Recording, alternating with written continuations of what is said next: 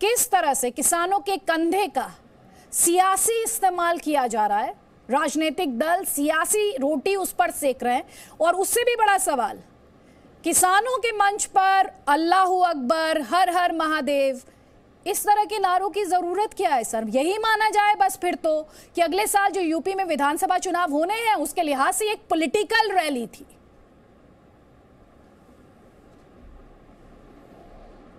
नहीं, देखिए अदिति जी, ये किसानों की महापंचायत थी, किसानों के मुद्दे इसमें उठाए गए।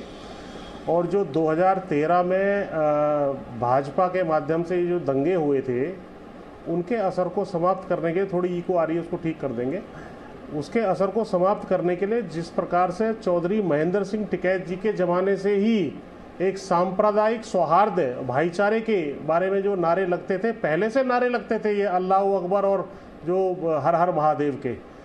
तो ये हर हर महादेव बोलते थे, वो अल्लाह अगर बोलती थी भीड़, अल्लाह अगर बोलता है तो हर हर महादेव। तो इस तरीके से नारे, ये भाईचारे के नारे थे।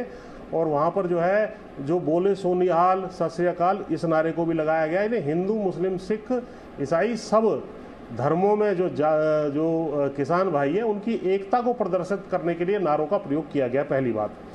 दूसरा जो आपने प्रश्न उठाया कि क्या भाई सियासत हो रही है नहीं मानते? सर एक सेकंड सर एक सेकंड। किसानों का मंच आप बार बार इस बात को कहते रहे किसान और किसान नेता कि ये किसानों का मंच जो है हम इसे राजनीतिक कंधा राजनीति राजनीति करने वालों को अपना कंधा नहीं देंगे।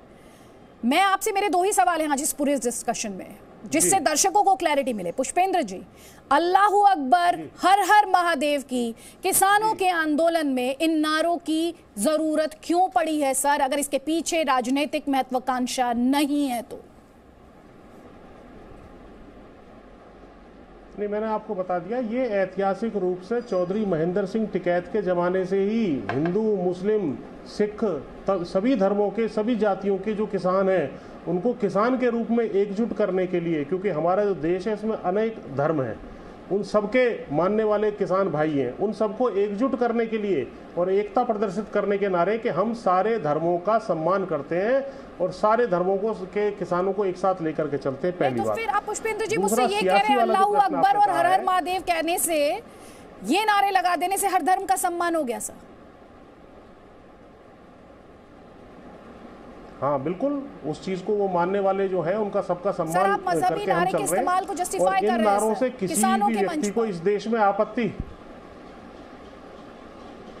हाँ हम कह रहे हैं ना आपसे किसान का एक धर्म भी होता है तो उसको धर्म में बांटने की जो कोशिश भाजपा की रहती है उससे अलावा हमने तीनों धर्मों के वहाँ नाम लिए वहाँ पे सिर पे पगड़ी बाँध करके हमारे सिख भाई भी थे टोपी पहन करके मुस्लिम भाई भी थे और दूसरी टोपी पहन करके जो है हिंदू भाई भी थे सभी धर्मों के जातियों के वहाँ किसान शामिल थे। तो एक बड़ा मिनी भारत वहाँ दिखाई पड़ रहा था जो भारत की असली ताकत है वो दिखाई पड़ रही थी। तो सर राष्ट्रगान गा लेते दूसरा आपने राजनीति भारत की ताकत की बात करें तो सर राष्ट्रगान गा लेते सर? भारत की ताकत की बात कर रहे हैं तो सर राष्ट्रगीत आप तमाम हाँ, तरीके से भारत के हिसाब से भारत की बात कर सकते थे सर? उसके लिए आपको उसके लिए आपको मजहबी नारे की क्या ज़रूरत है सर?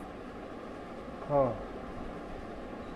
राष्ट्रीय जो है जो झंडा था वो भी वहाँ लहराया जा रहा था। किसान यूनियन के झंडे भी वहाँ थे। तो सारा बड़ा वृहद भारत था यदि आपने अपना सर जब आप भारत की बात करते हैं सर इसीलिए तो, तो मैंने कहा जब आपने भारत की बात की आपने सांप्रदायिक सौहार्द की बात की तो सर आप भारत के राष्ट्रगीत राष्ट्रगान गा लेते सर। हाँ। किसने रोका था?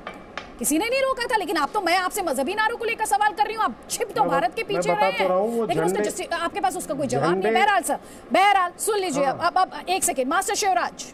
नहीं जवाब दे तो दिया मैंने आपको। सर मैंने भी आपसे पलट के सवाल पूछा ना। आप जिस भारत की बात कर रहे हैं उस भारत की तो कई पहचान है कई सिंबल्स हैं। आपको मजहबी नारों का सहारा क्यों लेना पड़ा सर? मजहबी नारों का ही सहारा क्यों लेना पड़ा? क्यों नहीं मैं कहूँगी कि इसके पीछे चुनावी मंशा है? और खासतौर पर यह देखते हुए कि उत्तर प्रदेश में अगले साल चुनाव होना है विधानसभा का। क्यों नहीं कहूँगी? पूछूँगी मैं सवाल सर। और आपसे हर कोई ये सवाल पूछेगा। पूछा जाएगा ये सवाल। मास्टर शिवराज। किसानों के कंधे का इस्तेमाल सियासी फ़ायदे के लिए? और क्यों नहीं कल की महापंचायत को जिसे महापंचायत कहा जा रहा है एक पॉलिटिकल रैली माना जाए यूपी में होने वाले विधानसभा चुनावों से पहले? नहीं अब ये तो एक शब्द के कई कई अर्थ होते हैं। एक शब्द के कई कई पर्यावाची देश में होते हैं। देश में तो हिंदी चीनी, हिंदू चीनी भाई भाई के भी नारे लगे। देश में हिंदू, मुस्लिम, सिख, ईसाई है आपस में भाई भाई ये तो सब भाईचारे की बात है, इस पर कहीं कोई किसी को आपत्ति नहीं होनी चाहिए। और किसान में छत्तीस बरादरी हैं। किसान एक बरादरी का नहीं है, छत्तीस बरादरी का है। सभी का किसान बरादरी में सम्मान है। रही राजनीतिक की बात तो हमारा देश लोकतांत्रिक देश है वोट का देश है। अगर कोई किसान की बात नहीं सुनेगा तो किसान सत्ताधारी पार्टी से नाराज़ होगा ये। बिल्कुल श्योर है सेंट परसेंट है। हम तो ये कह रहे हैं, सत्ताधारी पार्टी किसान को मौका क्यों दे रही है? दूसरी राजनीतिक पार्टियों की गोद में बैठने का। किसान की बात सुन क्यों नहीं रही है? नौ महीने से ज़्यादा हो गए, सर्दी, गर्मी, बरसात, तीनों मौसम देख लिए।